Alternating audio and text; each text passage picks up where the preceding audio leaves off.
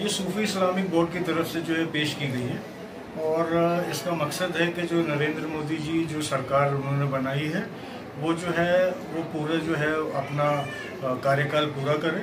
और जिस तरीके से मोदी जी ने सूफिज़म को प्रमोट करने में पिछले दस सालों में काम किया था, उसी तरीके से और बढ़ चढ़ के इस बार जो है सूफिज़म जो कि सर्वधर्म भी कहलाता है इस दौर में, उसको जो है ना ज़्यादा से ज़्यादा तरीके से प्रमोट किया जाए और हमारे देश में अमन और शांति की फिजा को जो है महफूज किया जाए और ज़्यादा उसको बढ़ावा बढ़ावा दिया जाए।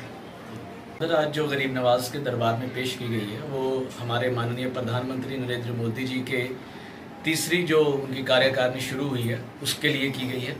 और हम लोग उनको पहले तो तहे दिल से बधाई देते हैं कि वो दोबारा प्रशासन में आए हैं। और दूसरी बात यह कि उन्होंने जो 10 साल में सूफिज़म पर काम किया है, और आगे भी हम चाहते हैं कि वो ऐसे ही काम करते रहें, ताकि सूफिज़म की जो फिज़ाएँ हैं सूफिज़म की जो हवा है, वो खाली भारत में नहीं, पूरी दुनिया में बुलंद हो सके।